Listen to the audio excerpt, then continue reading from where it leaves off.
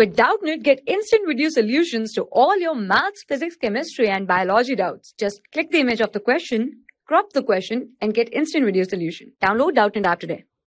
Hi, let's start the question. The question says that write the following numbers as a power of 3.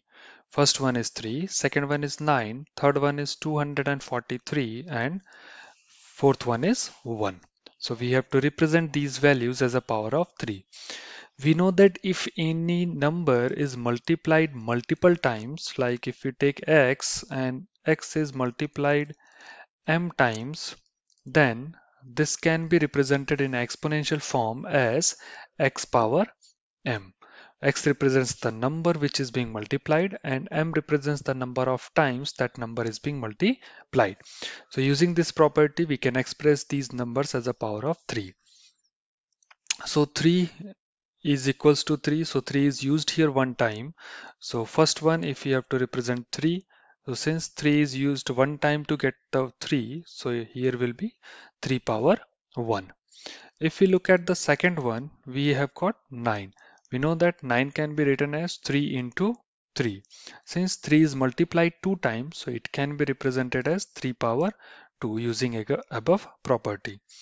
Third one we have to represent 243 so when we factorize 243 we will get here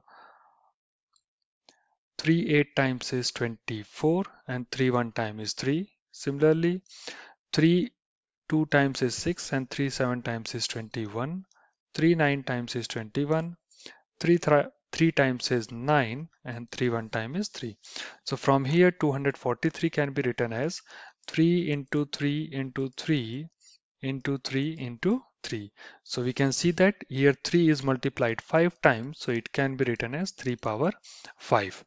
And at last we have to represent value 1 as a power of 3. We know that if any number has a power 0 then its value is equal to 1.